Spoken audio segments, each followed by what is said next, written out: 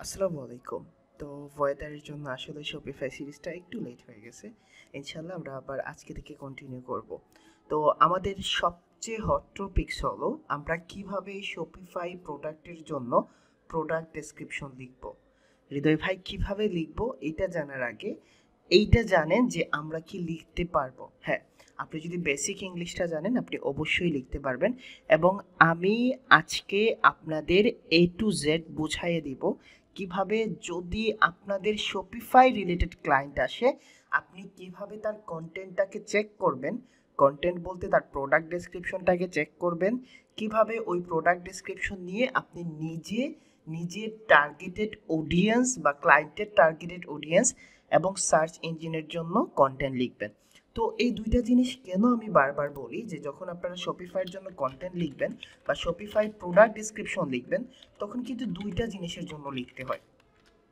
Shopify product ডিসক্রিপশনটা দুইটা জিনিসের জন্য লিখতে হয়। প্রথম যে জিনিসটা যে একজন ইউজার এসে কিন্তু এই প্রোডাক্টটার ডিসক্রিপশনটা পড়বে।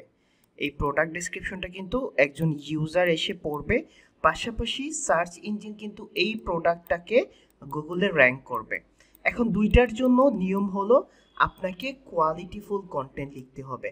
এখন কোয়ালিটিফুল কন্টেন্ট বলতে বোঝাচ্ছি যে আপনি যখন কন্টেন্টটা লিখবেন, তখন যে বায়ারগুলা আপনার শপিফাই প্রোডাক্টটা কিনতে চাইবে বা কেনার জন্য সার্চ করবে, তারা যেন প্রতিটা কন্টেন্টে ম্যাক্সিমাম সময় স্পেন্ড করে।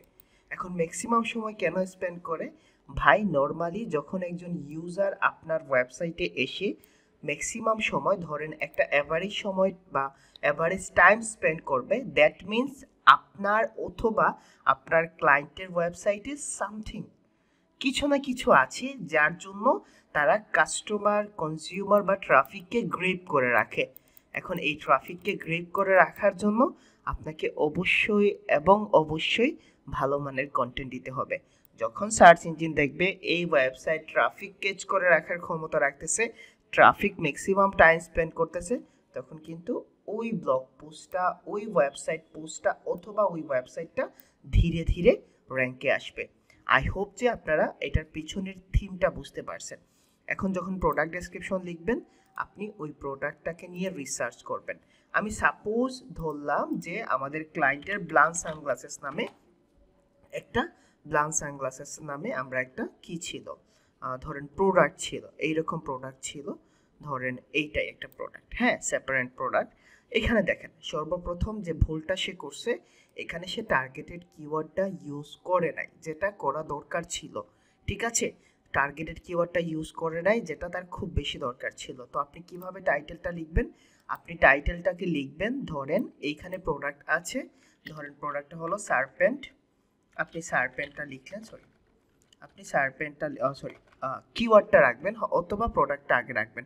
ধরেন আমি প্রোডাক্টটা রাখলাম সানগ্লাস ফর মেন ঠিক আছে? সানগ্লাস ফর মেন আমি আপনাদের এক্সাম্পল হিসেবে দিলাম।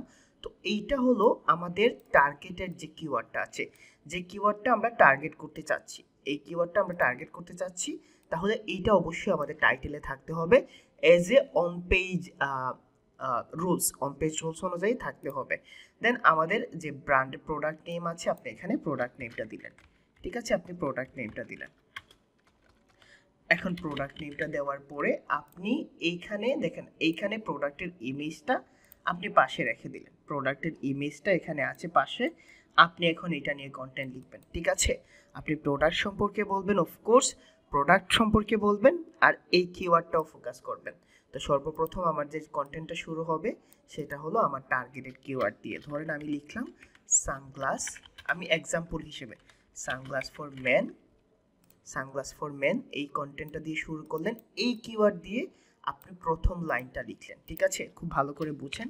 প্রথম লাইনটা লিখলেন, এই কিওয়ার্ডটা দিয়ে, আপনার কিওয়ার্ডটা যেন থাকে। দেন আপনি আপনার ক্লায়েন্টের যে প্রোডাক্ট আছে, এই প্রোডাক্ট প্রোডাক্টটা দিয়ে শুরু করবেন।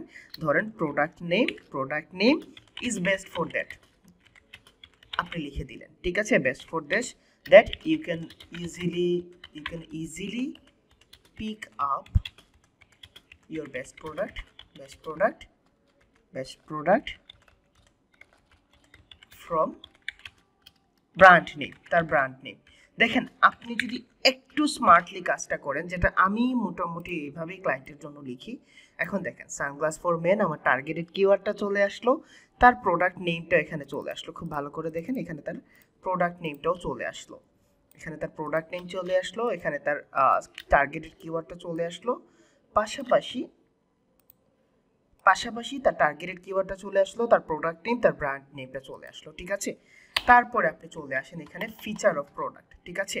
তো আপনার এখানে টাইটেলটা থাকল, এখন আপনি যখন ফিচার অফ প্রোডাক্ট লিখবেন, আপনি যখন ফিচার অফ প্রোডাক্ট লেখা শুরু করবেন, তখন কিন্তু আপনার এইটা সাব হেডিং বা হেডিং নাম্বার টু হিসেবে কাউন্ট হবে। আই রিপিট এগেন আপনি এইটা লিখলেন প্রোডাক্ট সম্পর্কে দেন আপনি যখন ফিচার অফ প্রোডাক্ট দিলেন, ঠিক আছে? আপনি এখানে দিলেন ফিচার অফ প্রোডাক্ট আপনি এখানে একটু স্মার্টলি বলবেন যে ফিচার অফ ফিচার অফ একটা রিলিভেন্ট কিওয়ার্ড হ্যাঁ? আপনি প্রোডাক্টের নাম দিলেন অথবা এখানে একটা রিলিভেন্ট কিওয়ার্ড ইউজ করলেন। এখানে আপনি টাইটেল টুতে বা সরি টাইটেল টুক না, এটা এইচ টু বলা হয় হেডিং টুতে আপনি এইচ টুতে একটা একটা রিলিভেন্ট কিওয়ার্ড এখানে ইউজ করলেন। দেন আপনি আপনার প্রোডাক্টের ফিচারটা সুন্দর করে সাজালেন। প্রোডাক্টের ফিচারটা এখানে সুন্দর করে সাজালেন। ধরেন যে যে ফিচার আছে, আপনি নর্মালি তার ওয়েবসাইট থেকে নিলেন অথবা তারে জিজ্ঞেস করে এখানে ফিচারগুলো সুন্দর করে নিলেন। নেওয়ার পরে আপনি তারপরে আসবেন হলো এইচ থ্রিতে ঠিক আছে? এইচ থ্রিতে আপনি আবার কোনো না কোনো বইতে আপনার টার্গেটেড কিওয়ার্ডটা ইউজ করবেন হ্যাঁ?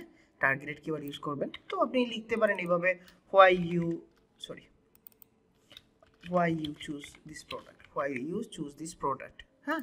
কেন আপনি এটা চুজ করবেন? এখানে আপনি আরও একশো অথবা একশো বিশ ওয়ার্ড এখানে উল্লেখ করতে পারেন, ঠিক আছে? একশো অথবা একশো বিশ ওয়ার্ডটা উল্লেখ করতে পারেন। উল্লেখ করার পরে আপনি যে এক্সটেনশনগুলো আছে, তারপরে আপনি এখানে এক্সটেনশনগুলো ইউজ করেন। দেখেন সে কিন্তু এইভাবেই লিখছে। এখানে লেখার পরে এখানে সে হেডলাইন দিতে ভুলে গেছে বা ইন্ট্রো দিতে ভুলে গেছে, যেটা খুব বেশি দরকার একটা প্রোডাক্টের জন্য। এখানে সে তার প্রোডাক্ট নেম দিছে বা টার্গেটেড কিওয়ার্ড দেয়। এখন টার্গেটেড কিওয়ার্ড যদি নাই দেন, গুগলের সার্চ ইঞ্জিন কীভাবে বুঝবে? এটা হলো তার একটা স্পেসিফিক কিওয়ার্ড বা প্রোডাক্ট এটা কি মেনের জন্য নাকি এটা ওমেনের জন্য? এটা সানগ্লাস না এটা ঝাড়বাতি? কীভাবে গুগল বুঝবে? তো গুগল বোঝানোর জন্য আপনাকে কিন্তু অবশ্যই এখানে টার্গেটেড কিওয়ার্ডটা ইউজ করতে হবে। হয় প্রোডাক্টের আগে, না হলে প্রোডাক্টের পরে। তারপর আপনি এখানে ইন্ট্রো ইউজ করেন। ইন্ট্রো ইউজ করার সময় আপনি টার্গেটেড কিওয়ার্ডটা এখানে রাখেন। ইন্ট্রো ইউজ করার সময় আপনি টার্গেটেড কিওয়ার্ডটা রাখেন। তারপরে দেখেন এইখানে ইচ্ছে করলে সেখানে রাখতে পারতো এই জিনিসটা। এখানে সে ইচ্ছে করলে এই জিনিসটা রাখতে পারতো। তার একটা সাব কিওয়ার্ড বা সাব কিওয়ার্ড দিয়ে এখানে সে কন্টিনিউ করতে পারতো।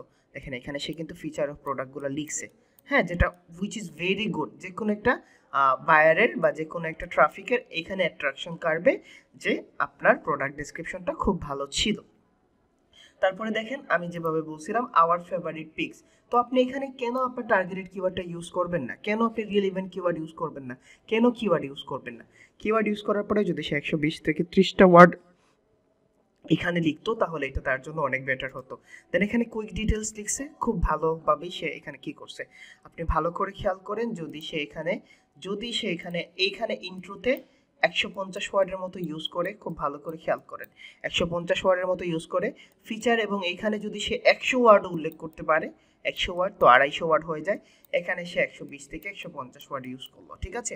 অ্যাভারেজ একশো পঞ্চাশ, তিনশো আর একশো চারশো ওয়ার্ড পরে সে কনক্লিউশন বা নিচে আপনার একশো থেকে একশো বিশ ওয়ার্ড ইউজ করব ফাইভ টোয়েন্টি ওয়ার্ডসের একটা প্রোডাক্ট ডিসক্রিপশন লিখলে আপনার গুগলের যে সার্চ ইঞ্জিন আছে, এই সার্চ ইঞ্জিনটাও ফ্রেন্ডলি হবে। এই সার্চ ইঞ্জিনটাও কিন্তু ভালো করে বুঝতে পারবে যে এই প্রোডাক্টটা কী নিয়ে, এটা যে সানগ্লাস ফোর মেন তো অনেকে এই ধরনের টার্গেটেড কিওয়ার্ড লিখেই কিন্তু সার্চ করবে যে কিওয়ার্ডগুলোর সার্চ ভলিউম আছে।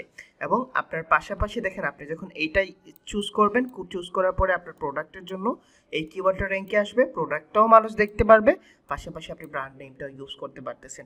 মোটামুটি পুরো ফায়দাটা। এবং I can I can bet যে আপনারা এইরকমভাবে একটা সাজানো গোছানো প্রোডাক্ট ডিসক্রিপশন রাইটিং কোথাও পাবেন না। জাস্ট ফলো দিস ইনফরমেশনস দেখবেন আপনাদের ক্লায়েন্টের প্রোডাক্টে প্রোডাক্টে মোটামুটি অনেক ভালো ট্রাফিক আসবে। যেটা আমি প্রুভেন আমি অনেক ক্লায়েন্টের জন্য এরকমভাবে করছি এবং ক্লায়েন্টগুলো দিন শেষে স্যাটিসফাইড ছিল। এবং এই জন্য শপিফাইটা আমার কাছে ভালো লাগে, কারণ শপিফাইতে একটু স্মার্টলি কাজ করলে আপনি মোটামুটি ভালো প্ল্যান দিতে পারবেন। শপিফাইতে আরেকটা জিনিস, যখন আপনি ডেসক্রিপশনটা লিখবেন বা আপনি চেষ্টা করবেন যেন মিনিমাম যদি খুব কন্টেন্ট কম পান, আপনি তিনশো পঞ্চাশ ওয়ার্ডে রাখতে। যদি আপনি পারেন না বা ওই প্রোডাক্টের প্রোডাক্ট ডিসক্রিপশন লিখতে পারতেছেন না, তখন আপনি তিনশো পঞ্চাশ ওয়ার্ড লিখবেন। না হয় আপনি যতটা বেশি পারেন five hundred word plus seven hundred লিখলে আরও ভালো। তো এইগুলোর জন্য রিসোর্স আপনি সেম দেখেন সানগ্লাস ফর মেন আপনি সানগ্লাস ফর মেন লিখে গুগলে সার্চ করেন। আপনি আইডিয়া নিতে পারবেন, ঠিক আছে? আপনি আইডিয়া নিতে পারবেন বাট কখনো একদম হুবহু কপি করেন না। হুবহু কপি করলে কি হবে? যে আপনি দেখেন, এখানে দারাজ আসছে, আমি বাংলাদেশ থেকে সার্চ করছি বেঞ্চর আসছে, আমি বাংলাদেশ থেকে সার্চ করছি অ্যামাজন আসছে, তো আমি যখন বাংলাদেশ থেকে সার্চ করছি, এই জন্য এরকম আসছে। তো এইটা একটু ডিফারেন্ট ঠিক আছে? এটা একটু ডিফারেন্ট মানে দেখেন, আপনি যদি এইখানে দেখেন যে কোনো একটা প্রোডাক্ট থেকে আপনি মোটামুটি আইডিয়া নিতে পারবেন। ঠিক আছে? তারা কীরকম প্রোডাক্ট নেম ইউজ করছে? এখান থেকে চাইলে আপনি দশ থেকে বারো লাইন আনতে পারেন। এনে আপনি নিজ বতে করে নিজের জন্য ইউজ করতে পারেন। আপনার জন্য হাই কোয়ালিটিফুল ইংলিশ দরকার হবে না। আপনি জাস্ট ওই প্রোডাক্টটাকে ওই প্রোডাক্টটার টার্গেটেড কিওয়ার্ড আপনার ক্লায়েন্টের প্রোডাক্টের স্পেসিফাইড যে কি আছে? ধরেন স্পেসিফাইড যে জিনিসগুলো আছে বা স্পেসিফাইড যে ডিটেলসগুলো আছে ডিটেলসগুলো ঠিক রেখে আপনি আপনার নিজের মতো করে লেখেন। যদি আপনার ফাইভ হান্ড্রেড আর ফাইভ টোয়েন্টি ওয়ার্ডসের একটা কন্টেন্ট রেডি থাকে পারফেক্টলি যদি একটা ফাইভ টোয়েন্টি ওয়ার্ডসের কন্টেন্ট রেডি থাকে, দেখবেন আপনাদের যখন নেক্সট মডিউল আসবে শপিফাইয়ের জন্য অন পেজ কীভাবে করবেন বা শপিফাই অন পেজ কীভাবে করতে হয়, তখন আপনি অনেক রিল্যাক্সভাবে এই ফাইভ টোয়েন্টি ওয়ার্ডসটাকে আপনার যে ক্লায়েন্টের প্রোডাক্ট নেম আপনার যে ক্লায়েন্টের টার্গেটেড কিওয়ার্ড আছে আপনার যে ক্লায়েন্টের ব্র্যান্ড নেম আছে, এইভাবে আপনি পারফেক্টলি অপটিমাইজ করতে পারবেন। আই হোপ যে আপনাদের কোনো ধরনের কনফিউশন থাকবে না এই ভিডিও দেখার পরে, যে কীভাবে একটা শপিফাই ওয়েবসাইটের জন্য প্রোডাক্ট ডেসক্রিপশন লিখতে হয়। যদি তারপরেও আপনাদের বিন্দুমাত্র কনফিউশন থাকে, আপনারা কমেন্ট সেকশনে জানান যে, ভাই, এই টপিক্সটা বুঝি নাই বা আপনি এই টপিক্সটা আরও একটু ডিটেলস বোঝান, তাহলে আমি বুঝাই দিব। আর যদি আপনারা বুঝতে পারেন, তাহলে আপনারা কমেন্টস করে অবশ্যই জানাবেন যে, ভাই, এই পার্টস আমরা বুঝতে পারছি, আমরা শপিফাই হোম পেজে যাই বা শপিফাই টেকনিক্যাল এসিওটা বোঝান। হোপসো সবার পছন্দ হয়েছে ভিডিওটা অবশ্যই হবে কেন হবে না। তো সবাই ভালো থাকেন, সুস্থ থাকেন। আসসালামু আলাইকুম।